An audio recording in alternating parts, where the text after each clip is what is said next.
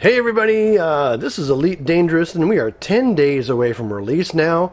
Um, tomorrow I'm going to go over a bunch of paint jobs, um, uh, at least, well, a fair number of paint jobs anyway, for all of the three starting ships that people will be starting off with um, at the beginning of the game. Um, so there's the Sidewinder and the Eagle and the Cobra Mark III are the three ships that you have for starting options. But on this one, since we're 10 days away, I wanted to take a look at the Hauler, which is likely to be one of the one of the first ships um, that a player buys in their uh, actually pays for in their career because it's a good hauling ship. You can actually configure it for some pretty long range stuff and do some discoveries and things like that. Um, it is not a combat vessel, so if you're a pirate or a bounty hunter, then this is not the ship for you. Um, but you know, you could actually fit it with a mining laser, and go mining with it, and uh, get a lot of stuff. But if you do so, you'd be completely defenseless.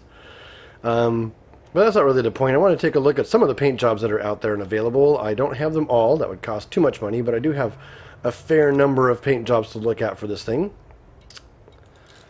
So, um, here we got the blue Terrain paint job. We'll go ahead and apply that and take a look at it from some different angles. Here's from the top and each of the sides. Not bad. And we have the yellow terrain. This one is my favorite, actually.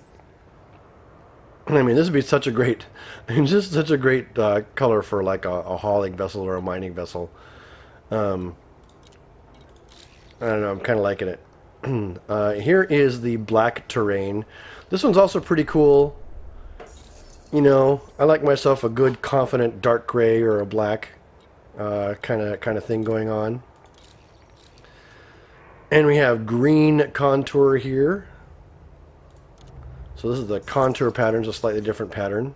Got some stripes going down the side, green and, green and yellow. And red contour. That's actually pretty nice. It reminds me of a minivan I used to own.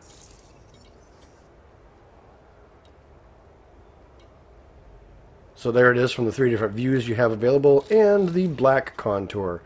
now this one is really slick.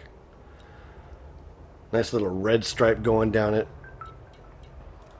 That's my phone blinking at me. Um,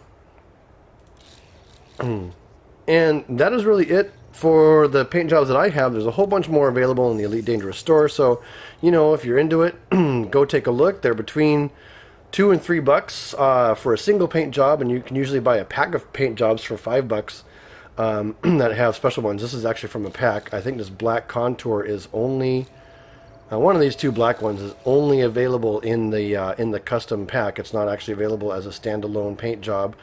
But you know, paint jobs for your ships are actually really affordable. I hope Elite Dangerous, uh, front, I should say, I hope Frontier Developments keeps the paint jobs as reasonably priced as they are right now, because they will find themselves getting a lot of additional sales from that kind of stuff. So, until tomorrow, when we take a look at the paint jobs for the pilot's starting start, startup sets, that would be the Sidewinder or the Eagle or the Cobra Mark III, depending on which particular starting condition you got yourself under and uh, what you know edition of the game you got. Um, we'll take a look at all of those paint jobs tomorrow. So until then, keep flying and stay shiny. Remember, we're 10 days away from full release. So until then, take care. Goodbye.